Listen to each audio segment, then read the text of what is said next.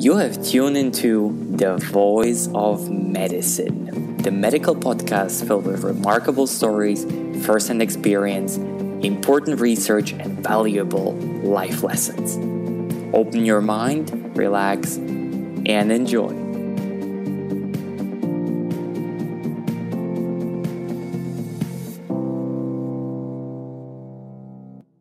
Everybody, and welcome to another edition of The Voice of Medicine. Today, with me, Michal, and my guest, Dr. Joel Kahn. Joel is a practicing interventional cardiologist. He's also a clinical professor at the Wayne State University School of Medicine, and as a lecturer, speaker, and book author, he talks about topics as vegan nutrition, plant based diet, heart disease reversal. He promotes healthy lifestyle, and him and I are going to talk about uh, his work his research, his patients, his experience, and many more. Well, thank you very much for having me on. I would like to start on a, a little personal note with you. Um, I, I've seen that you are very active when it comes to writing. So, you published a couple of books, you're writing on a lot of forums in the internet. I think you even are publishing some columns in newspapers.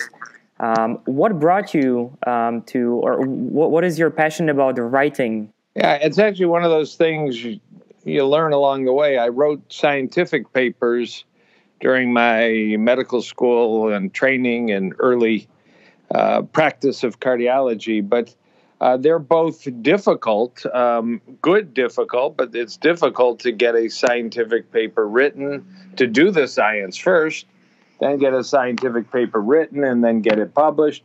And then ultimately, very often, 300 people read it and uh, it's a whole lot of work and it's very joyful. But you have to ask yourself with the advent of the internet um, is that necessarily the only way to access information? And uh, you know i've learned when i started and was introduced the idea uh, maybe shift some of your writing skills to a bit uh, you know quicker access to the public that uh, i love writing a thousand words. I love getting topics down into bites that I understand, people understand. I still have to do a lot of research. I still have to learn a topic if I'm going to write about it. Usually, it's something I'm going to walk away with a little more information for myself and my patients. But, you know, the ability to synthesize, there's so much out there now. So I try and be a voice of practicality and reason and you know, and interesting. And, uh, you know, there is a little aspect of entertainment too. I mean, you know, you can shift from my blog to another blog to another blog and uh, fill it up. So we got to keep people in the seats so that they'll get credible information because there's so much out there that's not credible. And I also learned that, you know, some people are really good at YouTube, some people are really good at another modality. I just uh, have enjoyed writing as um, you know, a weekly discipline to learn a new topic, communicate with people. You mentioned something very important. Um, there is a tremendous amount of um, credible or non-credible research and um, especially when it comes to diet which you know we are going to talk about today together um, it seems to me at least from a european perspective that there is a battle raging on in america and it's between people who are you know um, for the more of a ketogenic lifestyle as far as i, I, I saw yeah. it and then the people who are more on your side saying well it's rather the plant-based you know vegan lifestyle which is healthy now, how can a person who works nine or eight hours a day navigate themselves around this? Yeah, it is truly very hard. Even if you just start with people that are writing or putting out materials uh, on video or social media platforms that have a medical degree, an MD, or maybe a DO, an osteopathic degree. It's all the same nowadays. And then maybe you cut it to people that have a PhD. You can find diametrically opposed views on most subjects that pertain to nutrition. Then, if you go down a notch to fitness trainers and others, uh, many of whom are smart people, you can clearly find every flavor under the sun. Pick that flavor, whether it you know is mainstream or not, and it is a problem. Um, I will tell you what I would recommend to anybody. Yes, please. If you can, if you can find somebody who's in the middle of the discussion is a is a uh, leader, a researcher, doesn't really have skin in the game financially or from an ego standpoint. You want to grab onto him, and for me, that represents the researcher in Los Angeles, Dr. Walter Longo, L O N G O, PhD, who many consider, you know, perhaps the leading scientist on nutrition and aging, nutrition and biochemistry at a cellular level, at a small animal level like yeast, at a full human level. Um, he does uh, have you know, many, many prominent publications. Um, he does have a company that produces a therapeutic food line, but every dollar goes to research and um, charities. So he's not uh, in the game for a nickel. And uh, he proposes, besides his own philosophy of nutrition in a book called the longevity diet, which is very far from ketogenic in its structure and very close to fully plant-based in its structure. He proposes that you know there it is difficult to analyze nutrition, uh, and there is something he calls the five pillars that when you're looking at nutrition, you got to look at the basic biochemical science, which in his case is one of the world's leading experts. You got to look at epidemiology, and although they are flawed studies, they are the majority of studies. You can't throw them all out, even though very often uh, different voices will say, you know, if you're basing your view on nutrition and epidemiology, you got a weak foundation. Well, that's most of what's out there, and it's just the nature. You're not going to get a thousand people to eat one way for 10 years and another thousand to eat another way for 10 years. That works great for pills. It doesn't work for lifestyle. It's too hard to adhere to. Number three, you got to look at centenarians. What is the lifestyle of people who live healthy over 100? Because we have data on those people, and there may be lessons there. there. None of them are ketogenic. Number four, if you find a randomized trial, there was the famous, it's called Predimed Mediterranean trial, 7,000 people, five years, Spain. Some uh, ate a standard diet, some ate a standard Mediterranean diet with nuts, some ate with olive oil.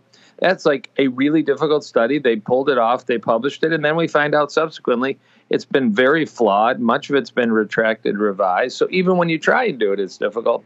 And the last thing he calls kind of high level big system analysis, which in me means is that nutrition platform good for the population, good for the environment, good for the animals? Will it be sustainable um, from a high level view? And we know that ketogenic diet supporting more animal use is not going to be a sustainable diet from a high level. So I go back to Dr. Longo and the five pillars, and anybody can look that up or read his book. It's interesting. The last comment I'll make another person that I will listen to and read is a Nobel Prize of Medicine winner, Michael Brown, MD, who in 1985, he and his coworker Joe Goldstein won for research on cholesterol and the LDL receptor.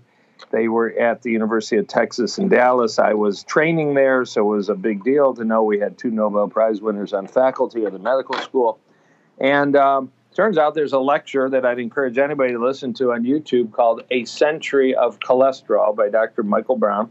And he actually proposes the exact same mindset of analyzing nutrition data to come to reasonable conclusions that Dr. Longo proposed, even though they have never met each other. I actually sent each of them the other's proposal, and it's amazing how two extremely high-level scientists, uh, you know, came to very similar conclusions of just the very process.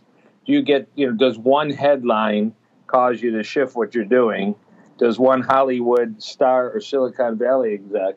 And the answer was no. I mean, if you if you go to the most reliable sources. So a bit, little bit long-winded, but that's really the key. Look at all that data before you decide or you start recommending to others or even if you make your own personal decision, you'd be better off to look at the whole big picture. Thank you very much for the advice. I think this should help a lot of people to navigate themselves around around this stuff. I had to think um, of a uh, study that I read once. I was sitting at the uh, Department of Gerontology here in Zurich, and I saw a study made in a part of Sicily called Catania, where um, the majority of the, the elderly, uh, they were way about, I think, um, 85, 90, and they were all quite healthy for their age. Uh, no cancer, no cardiovascular stuff. and I think they they showed that it was literally um, you know uh, caused by the healthy diet that they had. I guess this is what you meant when you when you said Mediterranean diet. Right. You know that would merge a bit with that concept. Probably your listeners hopefully have heard of the blue zones, which is one of the better studies of centenarian communities, these five communities, one of which is Sardinia, Italy, very close to Catania, Sicily, where it's been authenticated that there are pockets of people that have 10 times the frequency of people over age 100 compared to the United States mm-hmm. standard numbers. And uh, you're right, it is not a, a pill or a lifestyle. The diets vary, but the commonalities of the blue zones has been drawn out very nicely by um, Dan Buettner, uh, the Blue Zones lead author, and his team. And you know, I encourage anybody to read one of Dan Buettner's books. Again, are you going to find 100% plant based? You're not going to find 100%, but will you find every one of those communities to eat whole food, largely plant based diets, natural activity and motion, community support, um, modest alcohol, um, you know, faith and purpose in life. And yeah, the lessons from there, like Catania, are just invaluable. Joel, is there a common ground for you and so basically for your group and the other group advocating the ketogenic diet? Is there something where you guys meet and say, okay, well, we are on the same uh, page when it comes to this? You know, very small, but there is. And I've been on a number of ketogenic and paleo platform podcasts and lecture series because we all agree that processed food, fast food, factory farm food, uh, and we just mentioned about 60% of the calories that America eats every day. We, we can share the platform on 60% of the diet of America and say hand in hand, while we may differ what's on our plate, you know, we strongly stand up and say it's wrong to have a Wendy's burger joint in a hospital lobby, as my university hospital has. I mean, we, we can say that loud and clear and hold hands. And I think we need to do that more, in fact, is identify the commonalities uh, and recognize, you know, if you're eating like Dr. Mark Hyman, what he often calls pegan, or even if you're eating like Chris Kresser, he calls it nutrivore or paleo, I'm going to have a gigantic piled up salad with every vegetable and legume and pea and bean on top and they may add a piece of salmon and more olive oil than I choose to. Well, of course, olive oil is a plant based product, but we differ a bit on exactly how healthy it is. But you might actually look at the plate and not see much difference at first. Uh, you know, that certainly is different. Number one, there's not going to be any fast food, there's not going to be processed food, and there's um, uh, not going to be anything that was carried out through a bag in a window and all that. But um, uh, the difference would be the one that's really the outlier is this kind of hot movement with no science called the carnivore, literally eating meat three times a day and pretty much nothing but meat. Uh, it's really a hot movement on social media. You know, it begs the question, other than a report in 1933, is there any science? Has could it ever stand up to the five pillars of Dr. Longo or Michael Brown? And, and the answer is no, it couldn't. And we shouldn't adopt things like that until there is, we certainly shouldn't adopt them as a medical doctor policy or recommendation till there is a much, much broader scientific basis. Plus, when you analyze what that means to the environment. So, with most of the loud uh, voices, we actually can find a lot in common. You mentioned processed food, and I remember, I mean, you're an interventional cardiologist. Could you quickly tell us what does processed food do to our veins and arteries? Right, it's a great question. There really isn't much guessing on it. But, you know, the disease we should talk about, majority, should be hardening the arteries, one expression, atherosclerosis, another way, blockages is another way, heart attacks, they're all part of the same spectrum. It's an unnatural condition. It's not our destiny to clog our arteries. I have patients that I can document in their late 80s have arteries as pristine as a 15 year old. Um, and some of it's good luck and some of it's genetic, but most of these people had very pristine lifestyles by choice, by education, by learning, and all the rest. We know, for example, on a short term basis, this study's been done. If you take a McDonald's sausage McMuffin, which you can buy, unfortunately, you can still buy in some hospital lobbies less than you used to. As say, my hospital has a burger joint called Wendy's, and another one is putting in a burger joint called Wahlburgers. So this problem still exists that medicine has such an inconsistent message to the public. But if you take a meal like that and you feed it to healthy volunteers, and you have a device on their arm to measure the adequacy of um, artery health and blood flow, within an hour you can see blood flow in arteries decrease in health and function. That lasts for up to seven hours till it returns, like a bomb went off in their artery system. This is research done by Robert Vogel, MD, a cardiologist at uh, University of Maryland at the time. Uh, other studies have looked very similarly. One hospital hamburger, healthy volunteer, major reduction in an hour. Actually, was measured at four hours uh, in artery function. I mean, so these are the kind of things that we see just with one meal. You can do it with a milkshake. It's been done recently. Why we think what happens is food like that, besides the chemicals, besides the artificial dyes, besides the high salt, high added sugar, and high processed oil or animal fat content is they actually, uh, you know, people that eat them in research studies often eat them long term. The bacteria of your gut, your microbiome, favors a less healthy population, and you can actually release a flood of dead bacteria product. It's called endotoxin. You eat and you release a wave of dangerous bacterial products into your bloodstream. So it, it happens uh, soon after eating. Uh, your blood becomes quite toxic to your arteries. That's why we actually see these changes in less than an hour. And that's one meal. Now, you imagine doing that three times a day. I mean, it's a sausage egg McMuffin for breakfast, it's a uh, piece of fried chicken and mashed potato through a window for lunch. And you know, you're visiting a relative at the hospital. There's Wendy's, so you get a Baconator burger and Baconator fries with a Pepsi for dinner. I mean, you just spend more than 12 hours a day literally putting dead bacterial products in your bloodstream. And you do that day after day, week after week, and it may not be three meals a day, but do it enough, you're going to start to develop injured lining of your arteries. That's called your endothelium. It's not going to be able to repair, it's going to become permanently injured. It's going to allow cholesterol particles to enter. You're going to develop plaque. And, um, you know, let alone we know the risk of colorectal cancer, uh, obesity, type 2 diabetes, uh, probably brain disease like Alzheimer's go up too with processed fast food. So that's why we can all hold hands and say, shut the mothers down, start in hospitals, go to colleges and schools, and then let's just talk about the general public. Let's take food subsidies, at least the United States, away so we stop making this toxic food cheap. It's a perfect storm for the poor health we're experiencing and the rising healthcare costs, which are choking off American healthcare. And um, let's make people pay $75 for a meal for four at McDonald's uh, because, it, it, you know, we're ultimately paying for their healthcare anyways. Understand.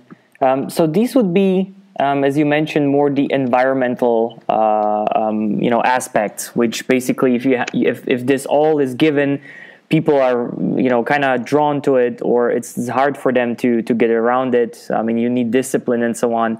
From your perspective as a doctor, how do you motivate your patients to stay away from this? What can we do on the on the patient side? Yeah, it's education because what I just told you about, like this initial wave of damage to arteries and all. I mean, people, physicians don't know it, dietitians don't know it, um, and certainly the public doesn't know it. It's at least once a day in my cardiology office in suburban Detroit, Michigan. I'm talking to somebody who's new to me that maybe had a heart attack, maybe had a bypass operation, maybe had a stent inserted, maybe five years ago. Maybe they've seen six, seven cardiologists along the way. They've been in the hospital. And when I mention that there's a connection between uh, like a tight connection between diet and their risk of further problems. When I bring up a movie called Forks Over Knives, I quiz my patients just to know where they're at. Mm-hmm. Do you do you know who Dr. Dean Ornish is? Have you ever heard of Dr. Esselstyn of the Cleveland Clinic? Do you know who Dr. Joel Fuhrman is? And I kind of go through a list like that. I mean, generally the answer is, what are you talking about? No, I've never, nobody's ever mentioned it. Yes, I've met with dietitians. And, you know, these are the people and the science and the database. So it has to start with education. And really, once you teach them that that motion of a fork or a spoon or their hand to their mouth will be one of the biggest determinants of their future risk um, of, of further problems. These are people that are already in the system. They really will move pretty quickly. They really will. They just have not, you know, been exposed to it. Now there is an addictive quality of some of this food, and it may take a while till they can confidently drive by, you know, the abundance of fast food restaurants, gas stations, donut places, and say, no, that's not in my best interest. We all have our weak moments now and then, but it takes a while, but ultimately they'll they'll do it. Knowledge is power, and then applied knowledge can become health. You know. I know that you're a pretty uh, hardcore direct guy. I uh, uh, saw that you, you like to motivate the, the gentleman uh, with the topic of penile arteries. uh-huh. um, what do you have for the ladies? Um, well, you know, the, the, unfortunately, there's two comments. The mechanisms of sexual response uh, are just worked out a little better and a little simpler in men, or at least we say it is. And the majority of the science, and of course, the pharmacologic treatment of sexual impairment is a male dominated field. Uh, drugs like Viagra, which are now generic, and you know, it looks like you can even just log on, watch a football game, and order them online. Uh, they've proliferated um, and such um, you know, they're male drugs, although there is data that, at least some data, that the same drugs have responsiveness in women that are having difficulty with sexual response. Um, you know, it is largely, or at least in part, blood flow that allows, uh, you know, peak sexual uh, experience to happen. It's not just blood flow; it's mind, body, of course, but uh, it is blood flow in part. So, um, what do I have for the ladies? Number one, you know, uh, in just a general sense, the lifestyle of the blue zones, the lifestyle of plant based forks over knives, where we're combining whole foods, minimally processed, minimal exposure as much as we can to added chemicals and pesticides and antibiotics and things called endocrine disrupt, disrupting chemicals. You know, there's a lot out there right now. Go back to fast food, processed food you could actually have a debate what's worse, the burger you're eating at a fast food gas station type joint or the plastic that it's coming to you wrapped in that's soaked into your food and is now part of your diet. Which one's worse for your sexuality? Because there is uh, these chemicals called endocrine disrupting chemicals are abundant. They're actually in the wrapping that the burger's in they're in the receipt, the thermal receipt you're getting when you're buying your French fries and your uh, Coca Cola, and they are in your food through the wrapping too. So it's the whole sordid affair of no consideration for the health of the customer. Um, you know, there is a belief that you know we're healthier with a largely or completely whole food plant diet. We have uh, perhaps better body aroma uh, by avoiding um, some of the toxicity that builds up in factory processed foods and animal foods.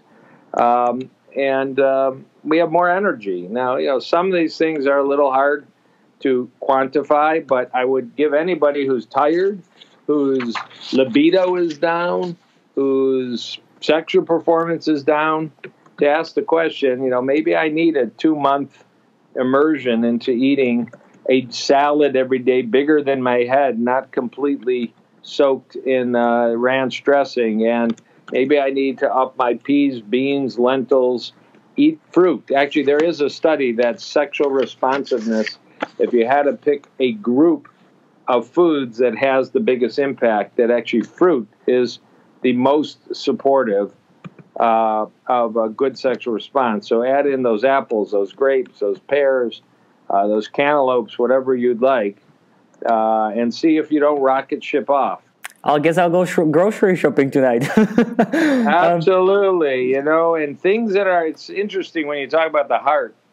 Uh, there is something unusual about bright red. Of course, we associate bright red with the heart and Valentine's and things like that. But you know, get yourself some red peppers, some pomegranates, some red apples, some uh, red grapes. There's just something uh, tomatoes with the rich antioxidants, including the one called lycopene, and they're just seemingly very good for both sexual responsiveness and for heart health combined. Joel, you mentioned now a few times forks over knives. Can you tell us more about this? It's a documentary that came out in 2011 by a friend of mine, now a friend of mine, I didn't know him then, uh, Brian Wendel and okay. his team. Brian lives in Santa Monica and was uh, doing real estate actually, but became interested in the plant movement and was in LA and knew movie people. Bottom line, when this movie came out, you might anticipate you know, it would be seen by 20,000, 30,000 people, but it was so well done documenting both the history of Dr. Caldwell Esselstyn, who's a Cleveland Clinic now preventive doctor in his 80s, and Dr. Um, Colin Campbell, PhD, who wrote the very famous book, The China Study, after decades of serious science at Cornell's Nutrition School, as well as many patients who saw improvements in their health by adopting a whole food diet. But the bottom line is when it came out on DVD and Blu ray and Netflix, it afforded a physician like me the easiest of ways to um, introduce people to the topic of food as medicine, food as therapy. And they watch it and they're transformed. And I have dozens and dozens of copies in my office to share with patients. Great. So you also have some uh, multimedia material for them when they come to visit yeah. you. Great. Now on the side, so we spoke about the diet, um, lifestyle. Um, part of that is also work, and I think in your last book you you talked about this. So how does work or certain jobs um, affect our our hearts? Yeah, there are a few different ways. One is um, the actual ability to move. I mean, I feel badly for long distance truck drivers and people in cubicles and such because we've learned even five minutes every half an hour getting up and standing is we're having this conversation today. My medical office my home office everywhere there's standing desks. Just gives me a few minutes and you can't stand all day long. I don't try and stand all day long but it's a few minutes to get up off your rear end and bounce around a little and fidget. These are all very very good things to do uh, but there are people that have jobs that you know make it difficult. Um, obviously, there are just we have learned tremendously, and we're still learning about air pollution. It's crazy mm-hmm. the explosion of data of air quality and cardiovascular health, air quality, and um, youthful arteries, and the opposite. So there are people that work in factories or in neighborhoods where air is an issue, or gas stations or truckers, and there's even some data lately that the closer you live to a freeway, the more likely you are to experience health issues just from the ambient microparticle pollution and uh, such. Um, there's access to healthy food. Uh, you can always bring, and that's what I encourage. That's what I do every day. Is I bring my own lunch in a glass container. Don't want those plastics. I'm not going to outsource my lunch to somebody that isn't as interested in my health as I am takes a few minutes, but it's worth it. Uh, you know, but many people are eating in a place where, you know, the access is a vending machine or carrying in fast food, or uh, even in a doctor's office, doctors routinely allow a drug representative, pharmaceutical representative, to bring in poor quality lunch for free to talk about an expensive drug, and you know, everybody gets the example that it doesn't matter if you eat. Uh, food like this, it does, but you know, there's all those occupational forces. Um, stress is a big factor in cardiovascular disease. Work is a big source of stress. People that have things on their mind and sleep poorly are less likely to get up and use the gym, less likely to drive by the donut place without pulling in, less likely to take the time to prepare their own food. So, you know, uh, learning to either avoid stress or manage stress, breathe through stress, yoga through stress, Tai Chi through, through stress uh, meditate through stress, you know, music through stress. I mean, these are all strategies many people use. So, yeah. Um, and then there's just people that love what they do are more motivated to add on the rest of the lifestyle and the health. So, uh, hopefully, you're doing something either at work or maybe your passion is out of work, you know, but you've got a passion that fires you up enough that life remains a joy and uh, uh, something that you know energizes you. Yeah, if you ultimately, whether it's grandchildren, your hobbies, your contribution to the community through charity, and maybe it's actually your job. Um, you know, you know you're going to perform better if you're healthy, and you're only going to perform if you're around and contributing. So, uh, hopefully, people that's part of the blue zones is identifying kind of your purpose and your passion. It's from the Japanese blue zone in Okinawa, and it's called Ikigai but it's pretty darn important. Well, you've been to Europe um, quite a few times, as far as I know. Um, from a cardiologist standpoint of view, do you think that uh, the cardiology in America is um, sort of somehow somewhat ahead in comparison to the European colleagues, or vice versa? Or is there do you feel like there is enough exchange of knowledge between between the US and, and the European countries? Yeah there's clearly enough exchange of knowledge uh, uh, you know between internet and journals and uh, meetings. And we can't get to meetings in Barcelona or Paris all the time but we can learn what went on. But in terms of regulation there is uh, easier access to some newer technologies in Europe Many of the companies will do pilot studies. These are usually surgical techniques or cath lab techniques, sometimes drugs. It is easier often to test them out in other parts of the world through the FDA and then bring back the most promising ones for further testing here. So, yes, uh, you know, some of the interesting heart valve work and heart surgery work and stent development uh, in my field but in terms of lifestyle, I mean, we all admire the Mediterranean diet. Uh, I can't testify that I know that European cardiologists are healthier than American cardiologists. Mm-hmm. uh, I don't know that anybody's ever looked at it. It's an interesting, you know, good little project somebody might do. So the last topic I wanted to talk to you about is a little, um, I, I, don't know, it's a little bit difficult, but since you, you know, you're razor sharp, um, I, I don't think it would be a problem.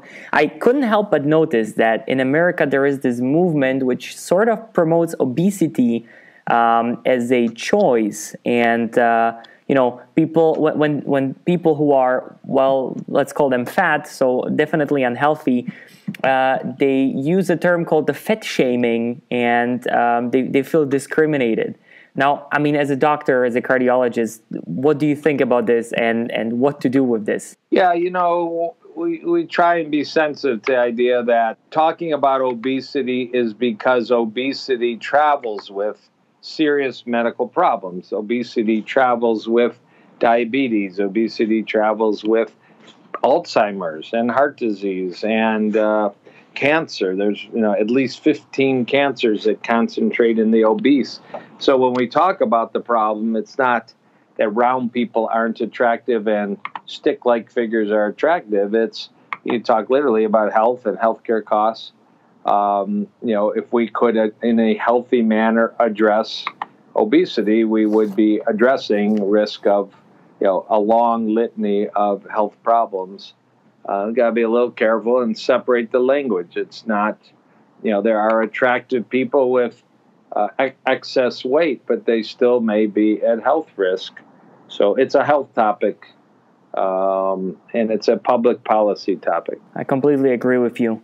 You also wrote a book called The Holistic Heart Tips. Um, right. as, a, as a close up, can you give us three for all our listeners, myself including, which we can keep to keep our health healthy? Um, sure. I mean, one, I'm a big, big fan of uh, sauna uh, as a add-on to health that has a lot of scientific support that many people don't necessarily know. Well, that's a surprise uh, for every, me. Yeah, yeah. There's there was a there is a database for the last 35 years from Japan using infrared sauna in some serious health issues um, and showing benefit and actually serious science from uh, undergrad uh, from uh, basic science all the way to um, clinical use.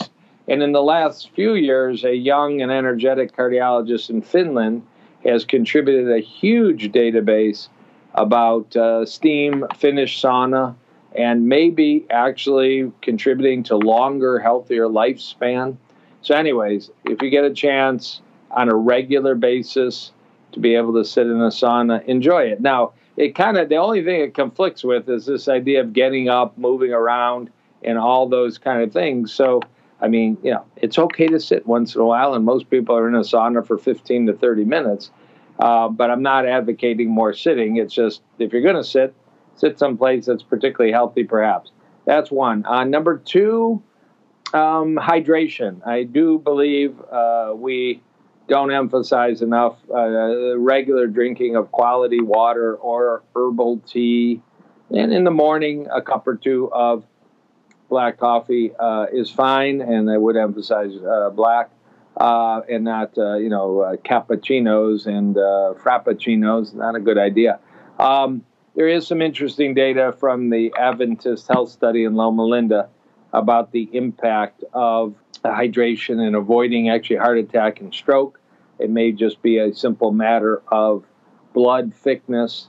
Um, so you know you don't have to count exactly, but just a mindfulness or I like people carrying their own stainless steel or glass water bottle.